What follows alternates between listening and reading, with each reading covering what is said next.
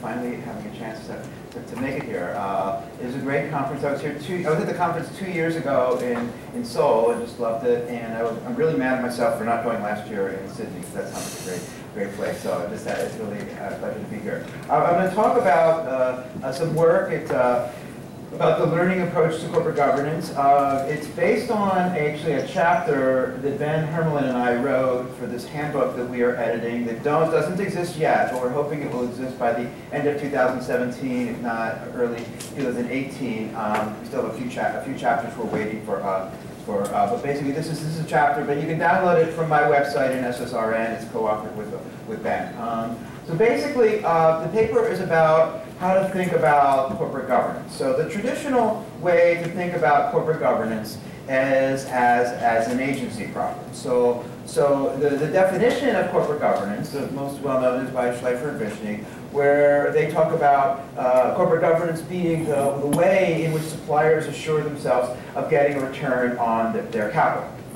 And so most governance literature focuses on governance as a way of controlling agency functions. And, and so in other words, preventing stealing from managers, motivating managers to work hard and everything. Um, and so certainly, uh, I, I, certainly have go along with that and have subscribed to that. Uh, and I think that there's a lot to the idea of, of agency problems being, being important, okay? However, the way, um, I, probably a lot of you have had this experience as well, where you think uh, of governance as, as managers trying to steal from shareholders and all of this, and then you actually meet a few managers. And basically, every, you know, I've been doing this for a few years, and I've met managers and talked to them, and every single one of them I've met is, is extremely smart, hardworking, nice, and trying to do their very best for shareholders, although they mess up sometimes, right? They sometimes don't know quite the best way. Sometimes they're the wrong fit. Sometimes they pick the right, the wrong strategy. Sometimes they hire the wrong employees or come up with the wrong products. But it's not because uh, they're trying to steal money. I mean, you know, maybe some, some managers do. I, I, have never met the current president. Uh, but, but basically, uh, but, you know, but most of the ones that I've met have, um, have, you know, been trying to do their best for, for shareholders. And, um, and, and so basically, what they're trying to do is to learn how to govern better and how to maximize profits. And, um, and I, I, guess the thesis of my talk today is that much of corporate governance uh, can be understood by understanding this, this process by which they learn how to maximize profits. And so that's kind of how uh, the thesis I say. So this, this idea has been formalized in the academic literature in these models that are called learning or assessment models. And so, uh, and certainly there have been uh, a number of uh, ways that this has been applied in governance and in other fields. Uh, but I don't think it has become kind of a central way of thinking about corporate governance as much as it should by, by our profession. And so, so much of my recent work has used this sort of framework as a way to understand corporate governance. And so what I'll do is kind of summarize a bunch of different papers that use this approach and sort of make the pitch that there's a lot to be learned here. Uh, and so basically the way I'll structure this talk is explain the basics of how learning can affect contracting and then illustrate some examples of how you can apply this idea from, um, from, from my, my own papers and some other people's papers. Um, so how does learning affect the governance of the firm? Okay, well, it does in a, in a number of different ways. Okay, first of all, it provides incentives for uh, managers to perform well. And they're indirect incentives, but that doesn't mean they're not unimportant incentives. But, uh, but it is definitely true that these, these incentives will be suboptimal in kind of the traditional principal agent way of thinking about optimality.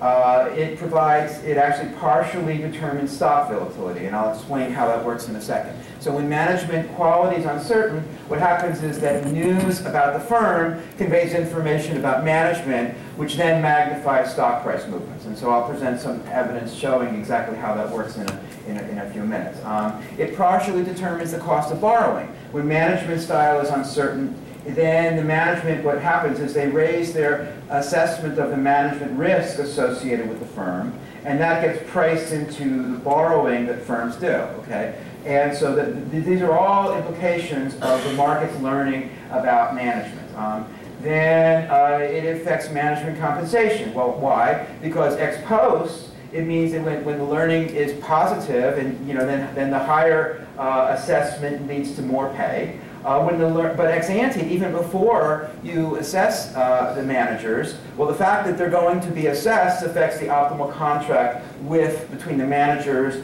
and the firm, and, and, and that affects the, uh, the level of compensation that management must get. Um, then uh, explains the hiring and firing decisions of managers. Clearly, when you assess management, you and you assess them negatively, then that affects the, the, the, the, the firing. And it also explains management entrenchment. So when CEOs are judged to be un unusually good, then what happens is they acquire bargaining power, which they then use to influence the board selection. And, and I've got a number of uh, some papers along, along those lines. And so anyway, I mean, that, that, to me, that seems like an awful lot to be, you know, coming out of this one basic idea about how uh, the, the, management is being assessed and the process by which it's being assessed. So, um, so the idea began in the 1980s with two of our giants, uh, and Holmstrom, and uh, it actually began out of a fight that they have. So you, you know, much much of we do, it seems like we talk about and discuss is, is uh, we argue with each other, we disagree, and there, and sometimes something positive comes through it. So basically, Gene Fama wrote this very famous paper in 1980 that argued that assessment together with career concerns provides incentives for managers to perform well. He basically argued that that would put us at the first best and everything would be hunky-dory once you uh, have this, uh, this process in place. And then Holmstrom read this and decided that this was completely,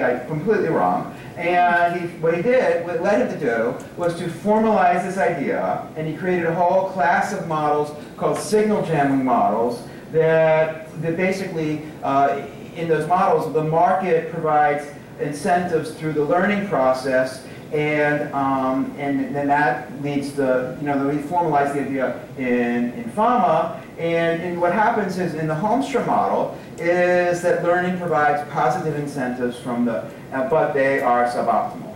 And then, of course, what happened last fall was that for this paper and, and uh, several others, uh, Holmstrom won the Nobel Prize. So, so I have to put a picture. Of that is Holmstrom right there. Yes, so, and there he is. And he won it with, with Oliver Hart. And so, uh, so I had to, um, you know, a friend of mine posted it on Facebook. So you see the Facebook little thing there. And I had to uh, copy it and add it to my, to my talk. And um, I, I, just love the picture on Oliver's uh, uh, face because can't, he can't tell whether he's happy about be just winning a Nobel Prize or sad because he has to wear a tuxedo and he hates one.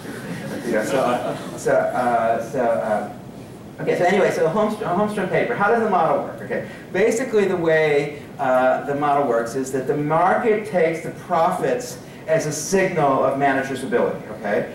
And it, you, you know, basically decides how much of a signal it ought to be based on what the prior ability, prior assessment of his ability is and how, how informative the signal is about his ability.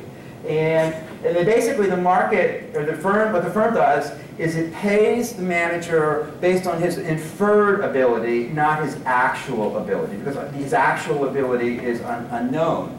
And so uh, what happens is that the, the manager has an incentive because he knows that he's being paid based on what people, how, how good they think he's going to be, they, they, they, he, he's going to try and influence how good they think he's going to be. And that's what provides him the incentives to work hard.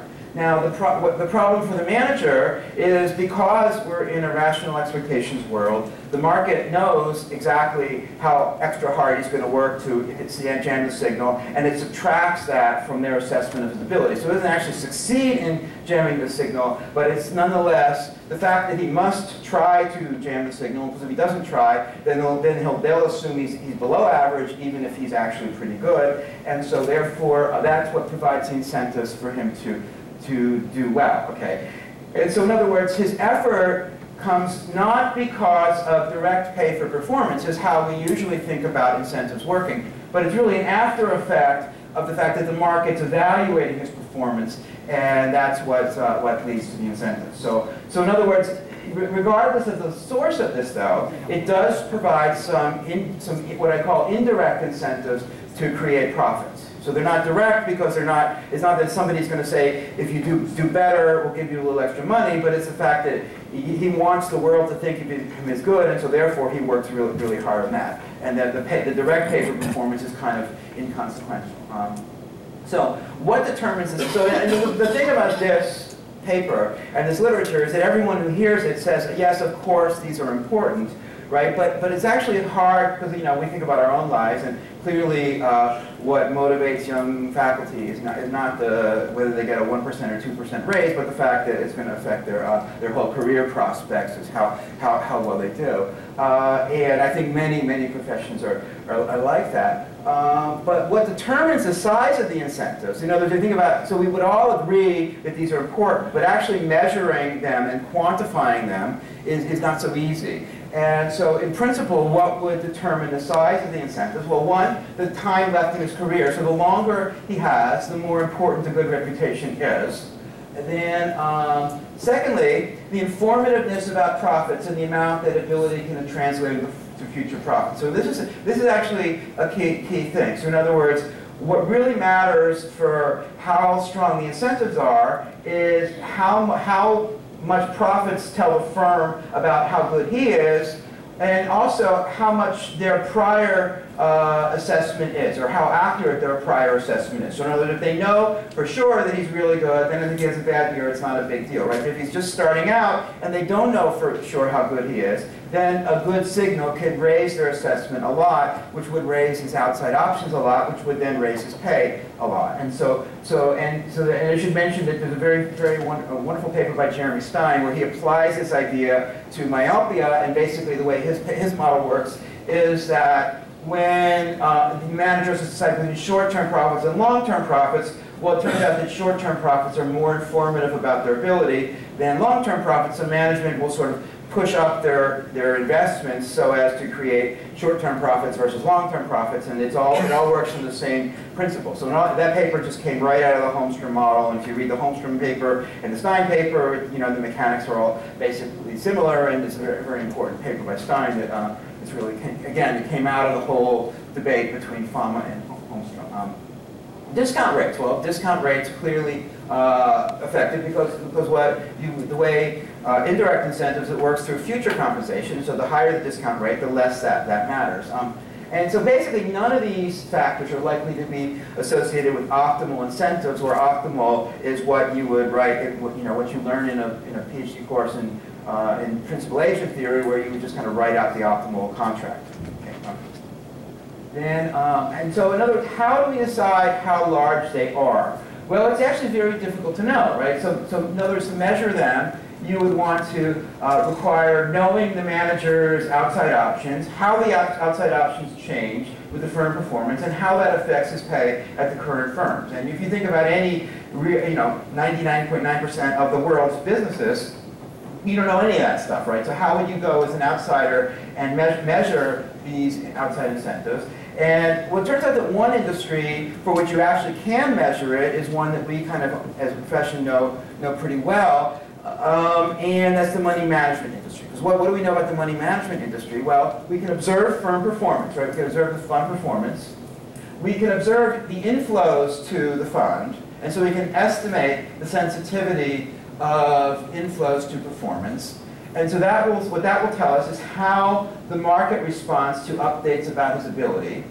And the other thing we know is we actually know the compensation system. So we don't exactly know what any individual manager is paid, but we know the fee structure of the fund that you're thinking about. And so to the extent that the management gets a good chunk of those fees, we actually know um, how much the, uh, the, the, the, management updates, uh, the, how much the, uh, his pay will affect, will, will depend on the inflows to the fund, which are a function of the performance of the fund. And so that's the way the, the process works. And so, so what we do is, uh, you know, I have a couple papers where I estimate it, and, and so the question is, you know, whenever you think about measuring anything, your first reaction is say, well, is this a big number or is this a small number? And then, of course, somebody raises their hand and says, relative to what? And the answer in this thing in, in this setting is, well, the to what is the direct incentives. Now, one of the things we know about the money management industry is that this is an industry for which we probably tell, all tell our students that the, the direct incentives are incredibly big, right? So in,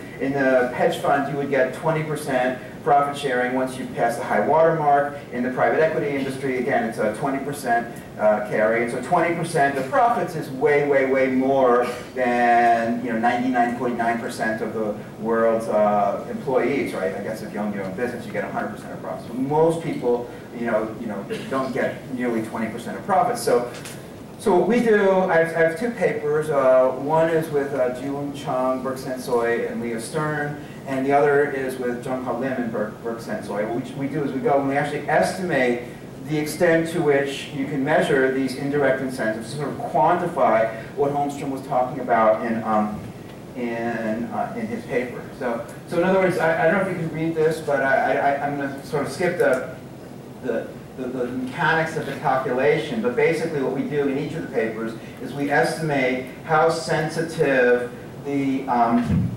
the fund inflows are to performance, and then we just go into the calculation of suppose you have an extra dollar coming into the fund, what fraction of it goes to the, the management, okay? And so that what we do is for the whole, whole, uh, whole so if you look right up here, um, for the indirect versus direct. So in other words, relative to the 20% direct profit share, you know, the carried interest in private equity, the indirect incentives for an average fund is uh, 63%. So it's actually quite large.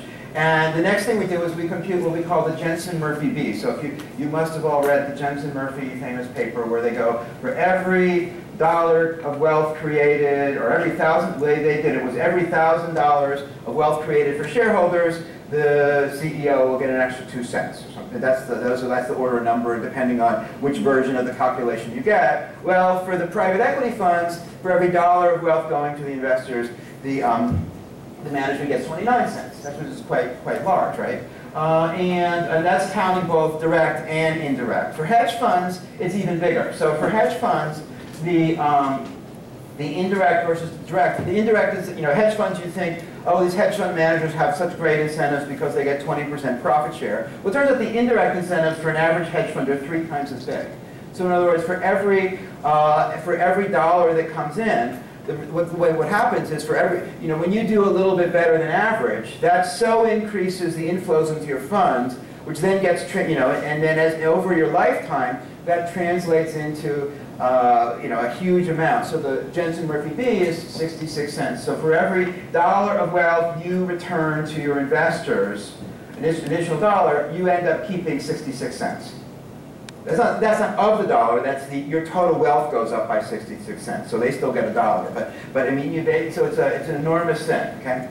So the next thing we do in these papers is we, we look at how the sequence or the age of the fund. Well, why do we do that? Well, if you have a new fund, then basically uh, what the, the principle of informative says is that what? That you, you have a low, you have a very diffuse prior about the manager's ability, and so therefore, given a signal, you would update your, what Bayes law says you should update your assessment a lot.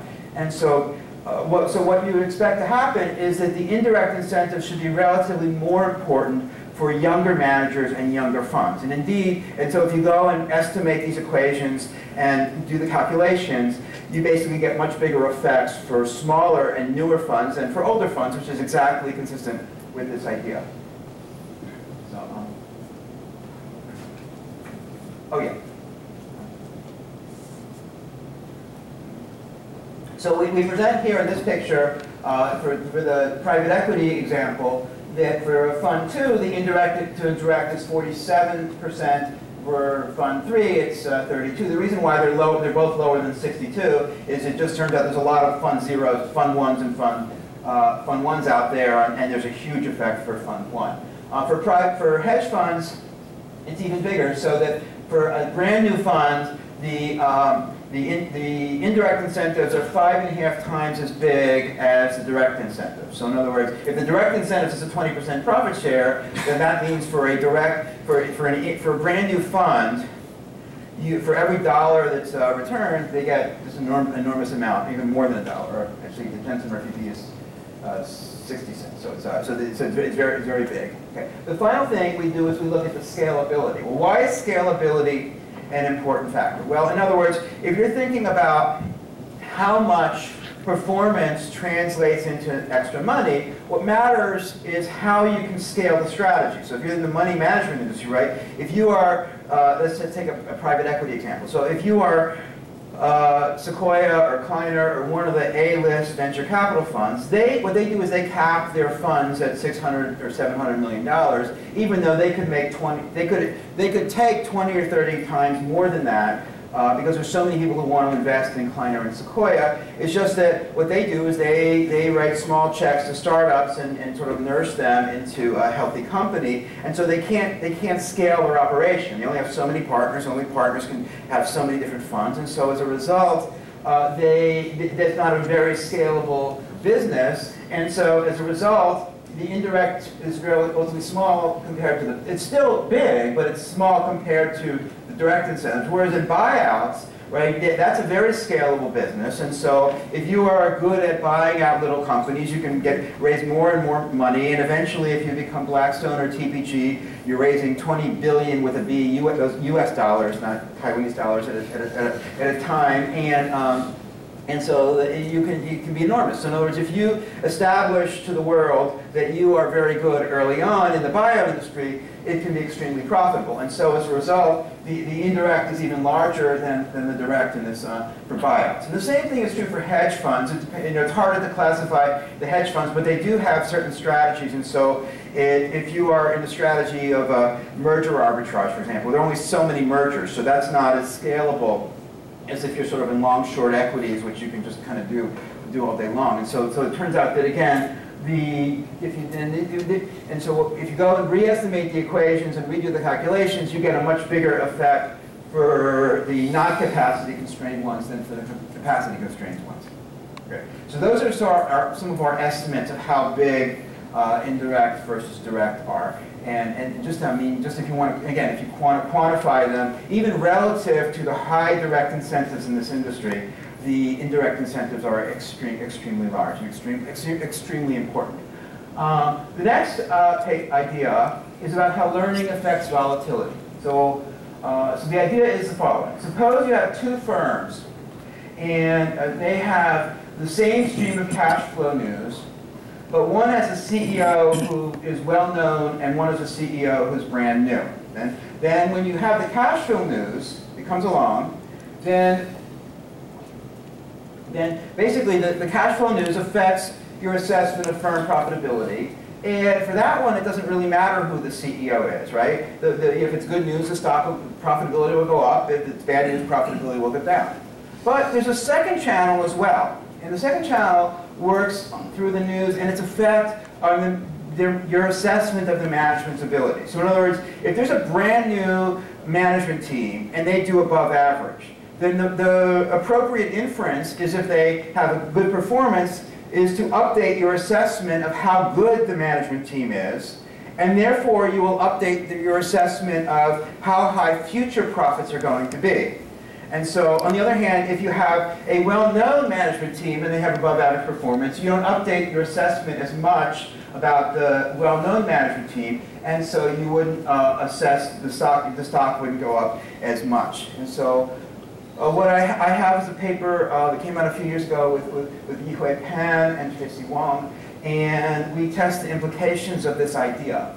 And so we find a number of findings, uh, based, I'll summarize them here, and then I'll show you a, few of them um, we find that uh, return volatility declines over a CEO's tenure. The, and as predicted, we have a formal model in the paper, which is based on a, a very good paper by Pastor and Veronesi that you, you, probably have seen. Uh, and we find that the decline is predicted by the model is you see the decline is convex, which is faster in early periods than in later periods. The volatility, and, and, and also, we also find that the volatility of the stock price reaction is, uh, has a convex decline with CEO tenure. Okay? Um, we have cross-sectional ability predictions about volatility. We find that the learning curve is steepest when the initial uncertainty is the, is the highest. So in other words, when the, there's uh, more uncertainty a priori, than what we see in the data about the manager, then what we see in the, uh, in the stock data is that you see a bigger decline in volatility over, uh, over time.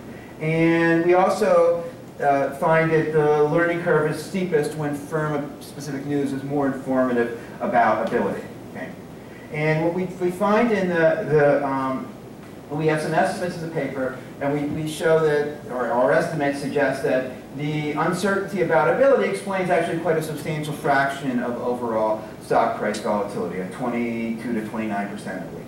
And so, in other words, this, this is not an inconsequential thing we're talking about. The learning about management is actually quite an important thing in not just, you know, picking management, but also understanding the, the uh, equity, uh, equity movements of the firm. So uh, here, are some pictures. So basically, the, um, we have three measures of volatility in the paper. We look at the option implied volatility, so in other words, that's what you get when you back, take it out of the Black-Scholes formula. We have idiosyncratic volatility and realized volatility, and all of them follow the same picture. So in other words, what you see is, well, I'll show up here, is that at, um, at time zero, when there's a management change, there's a spike in volatility, and then you sort of see it decline and it's down, downward level, and by year three, it's kind of fairly constant. And so so, and then when there's a new manager, he comes in and there's a new spike in volatility and it declines over time.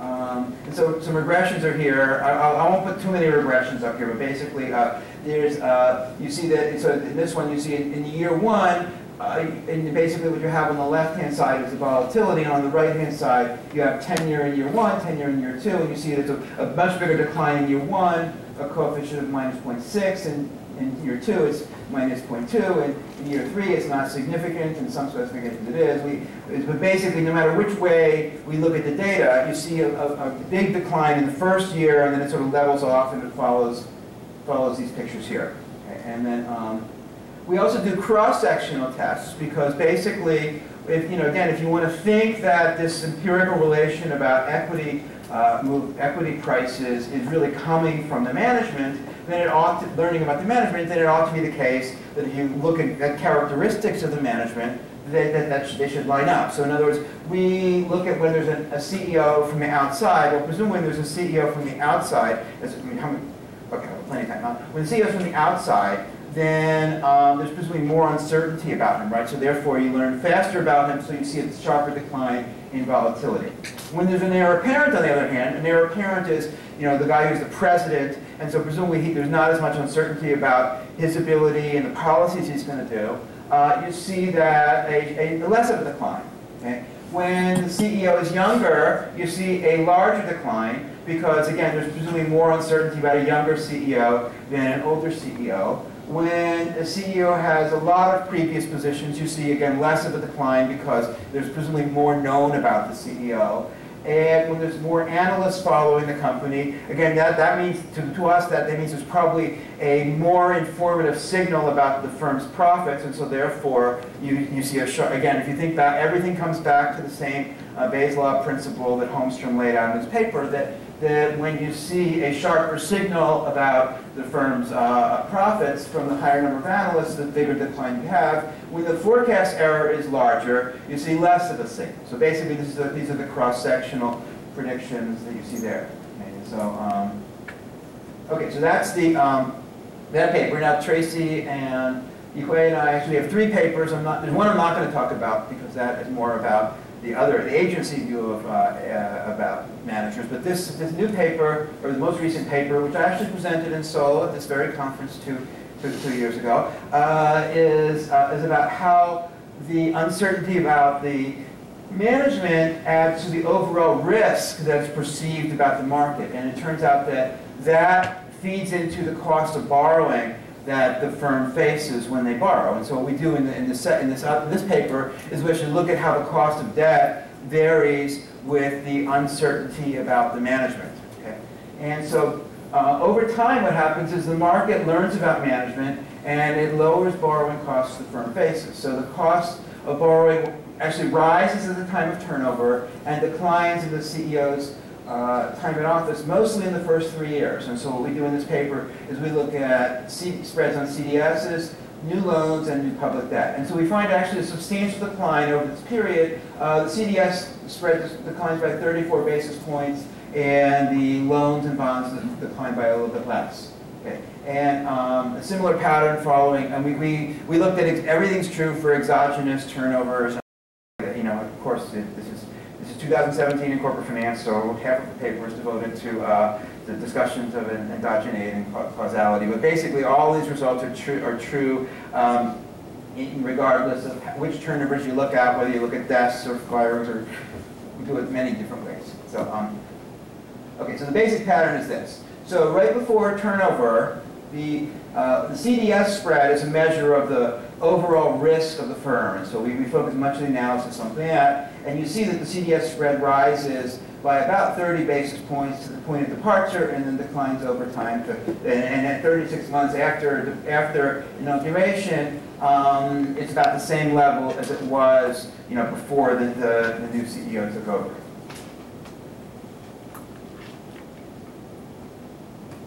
So the regressions look like this. So basically, you have the spread, um, and you can look at, oh, we have, we have, do, do it lots of ways in the paper. We can include all, the whole tenure of the CEO, or you can just use the first three years, and in either case, you see this uh, coefficient here. And what this means is that there's three uh, one hundredths of a basis point per day decline. So these are days. And so if you add up the, the basis points per day over the three years, it ends up being 34 basis points over the, um, over the three of the first three years of tenure.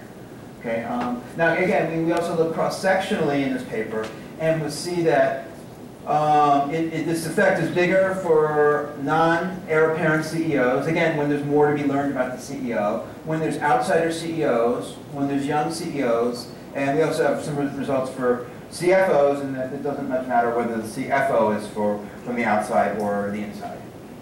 Okay. And so here are the magnitudes. So basically, in the full sample, there's a, there's a decline of 34 basis points in, in CDSs, and 20 for loans and 23 for bonds. And it's, it's larger for um, when there's higher prior uncertainty about the CEO. It's also larger when the, when the debt is riskier. So again, this is, these are sort of the cross-sectional implications. Um, all right, so uh, another, so that's sort of the whole learning and, uh, and, and capital markets. Now, my, my co-author Ben Hermalin has a, has a model in which boards can learn about managers and can monitor or fire them. And so the way his model works is that you, you see that the more uh, diligent the board, the more risk-averse managers must be compensated uh, ex ante for that. So in other words, when, when the board is going to be uh, assessing and potentially firing a manager, then if, given the manager is risk-averse, you have to compensate him ex ante for that. And so the, what he argues in that paper is this one, this is one explanation for the rise. Uh, that active boards are one of, one of the reasons why there has been a rise in management compensation over recent years. And so uh, there's a link. So, and, um, and so Ben and I together, we have a paper uh, that was, you may have seen, it was, uh, it's, it's, fairly well known by now. It's, uh, it was published in 1998, and we call it, we call it a joint endogeneity uh, model. And basically that way that model works is the board receives a signal and it updates the prior about the CEO's ability. Then what happens is they negotiate with respect to a filling of the vacancies on the board. And the CEO's a bit, what, what, what determines uh, how the board evolves over time and how his pay evolves over time is the CEO's um, bargaining ability with the board, which is a function of the, um, the board's assessment of his ability. And so, so then what happens is the new board then goes and decides how to intensely monitor the CEO. And so what happens is that inframarginal CEOs go and select more friendly directors and therefore influence future monitoring. And so, so what happens in this model is that learning about ability affects a bunch of stuff. It affects the management turnover, it affects board selection, and affects management entrenchment. Um, and so I always, whenever I talk about this paper, I always give the example of Michael Eisner because um, those of us who went to school and were doing corporate uh, governance research in the 80s, and looking around the room, there aren't too many of, uh, uh, you know, Alexander's not quite as old, old as I am, but he's, uh, yeah, so at the time when I started doing this, Michael Eisner was always like the example of the golden boy CEO. And he was always the, you know, they would, Fortune magazine, Fortune, they always have to have the ranking of the best CEOs and the worst CEOs, right? And so at the time, he was like number one, right? Because he was always paid the most. And what, why? Because he like revitalized Disney, right? because he basically, uh, for ever, when Walt Disney died, they, they spent the next 25 years trying to figure out what Walt would have done as opposed to what's actually the good thing to do. And then, then Michael Eisner comes in, they start making Beauty and the Beast and movies like that, and they made all this money. Stock went way up. And then what happened was, you know, he, according to our model, right, what happens is he, um, he, he was very inframarginal relative to the next best, uh, best CEO. And so he was able to stack his the board, and he really did. He put his uh, personal attorney on the board. He put his daughter's kindergarten teacher, which I guess if you're Disney has some relation to what understanding what kids want. Uh, and then he was uh, he went from being the very top of the list of the best CEOs. Then he was the most entrenched CEO in, in, possible. And so what Ben and I would argue is that these are not unrelated events. It was a fact that he was the very best CEO and considered the very best CEO is reason why he was able to entrench himself and become a very uh, uh, not so great CEO. And he was eventually forced out after this. So um, anyway, so that kind of illustrates, uh, I think, the, the, the, way, the dynamics of the way that model works. So uh, again, in the future, I guess I, um, in the let me sum up a little bit. Uh, so in other words, I think there's a lot of work to be done. I think there's a lot of stuff that gets explained by this basic Bayesian learning process where, um, where people are updating their assessments and governance, I think, is more than about managers trying to steal from shareholders. It's really about managers trying to figure out how to best maximize the value. And they, they the board goes and they pick a, a person to be a CEO and a CFO, and sometimes they turn out to be great, and sometimes they turn out not to be so great. And so, uh, so in other words, what I think there's a lot of work to be done explaining what uh, features of governance, uh, you know, can be explained by learning versus agency. There's not nearly enough empirical work. One of the things that I've learned in doing these empirical papers I talk about is that the learning models they they actually are much better for doing empirical work than, than, than, many other models we do because they've got all these different predictions, right? So that the thing about a learning model is it, it, predicts that, you know, it depends on how precise the signal is and how precise, how, how uh, precise is the, the prior distribution of the CE, of the, the, whoever's being evaluated, and has time series predictions that over time the, uh, the update should be larger early on and they should, uh, they should get smaller over time, and so that there's a lot of predictions of the models that actually lend themselves very nicely to empirical work. Um, and the other thing that I wanted to, uh, to, to, talk about just at the very end is that how, you know, one of the things about learning is that the traditional way to do it is to um, just kind of assume that everyone follows Bayes' law. So, so if you have, if you need a book to read for uh, over, over the summer, read Danny Kahneman's uh, wonderful book that sort of changes the way you think about things. And one of the things that I took away from that book was that people don't follow Bayes' law, right? So that there, the psychologists in, in every university in the world have done experiments and showing lots of things. And one of the things that they consistently show is that people don't follow Bayes' law, but that they update their priors too much about given a signal. And so the, the famous example is, uh, is this basketball paper where uh, basically they show that, you know, regardless of what, um, what uh, whether a guy makes a shot uh, this time, that's actually very, if you look at the data, you know, if you make three shots in a row, if, if Stephen Curry makes three shots in a row, that's actually looking at the data, that's very uninformative of whether he's going to make the next shot. Now that's not the way people perceive it, right? If he makes three shots in a row, then everyone in the whole stadium assumes that the next five of them are going to go in, even though they're not. If you actually look at the data, they're not. And so, um, so that basically what, what that means in terms of Bayes' law is that everyone updates their assessment too much given a signal. Well, how does this relate to what I'm talking about? Well, if you think back to the regressions I just showed you, uh, the effects were huge, right? So in other words, when um, a hedge fund has a high profits this year, right, and especially when there's a new manager, everyone assumes that he's the next Warren Buffett, right? And so this money just comes flowing in, and so his, so in other words, the inflows are extremely sensitive to performance, And I think that part of that has to do with our, the nature of human frailties and the fact that people naturally overinterpret signals as being too informative about, um, about his ability. And how does that translate to incentives? Well, that's what, it's the, it's, the reason why those numbers were so big wasn't because there's anything weird about the calculations. It's just simply, if you go and you run a regression of inflows on performance for any industry you want, uh, mutual funds are smaller, but hedge funds and private equity funds, you get these huge numbers. Well, why do you get these huge numbers? Because that's what the data suggests, right? That when you do better, you know, it's very simple for an institutional investor to switch from uh, one hedge fund to another. So if Jay Ritter's hedge fund underperforms and Neil Pearson's does well, they will immediately take the money out of Jay's, stick it in Neil's. It's, it's a pretty trivial calculation.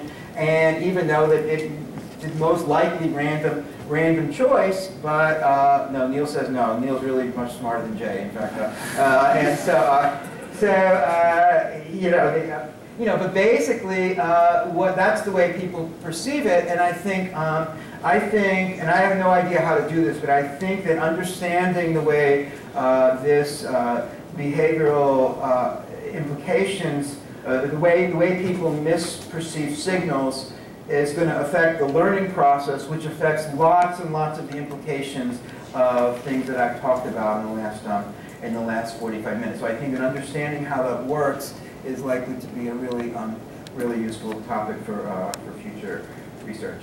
So anyway, uh, I'm going to stop here, and I was told I had 45 minutes.